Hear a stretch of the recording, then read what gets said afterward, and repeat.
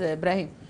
والله؟ هو هي الغربة مؤثرة جدا يعني لكن نحن على كلام أستاذ إبراهيم إنه المحل من مكان بنرجع للفلسفة بتاعت المكان لأنه المحل على حسب المحل اللي بينشئ فيه الإنسان.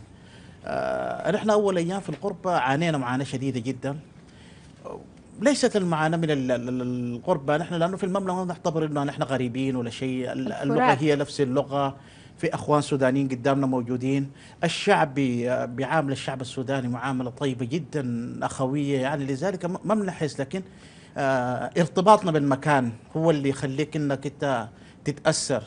أنا غاية تأثيري كان كبير جدا لأنه طالع من مجتمع درماني بحت مجتمع أيوة. ممتاز جدا مجت- مجتمع حنين جدا. اجتماعي. اجتماعي أيوه. يعني كل الأشياء الجميلة موجود في المجتمع الدرمان العاطفة آه الحنين الاهتمام. يعني نحن الكبار دول كلهم كنا بنعتبر أهلنا.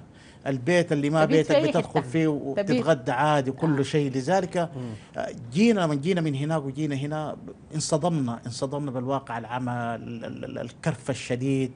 آه، وجودك براك. وجودك براك بي- بيشدك الحنين. يعني أنا من ال ال ال الأشياء الجميلة جدا أذكر إنه مرة الساعة 3 صباحا اتصلت على واحد من الأخوان. قال لي مالك قال لي ده أكيد ما بيجي في ذاته حرامي لي واحد مالك بتتصل عليه.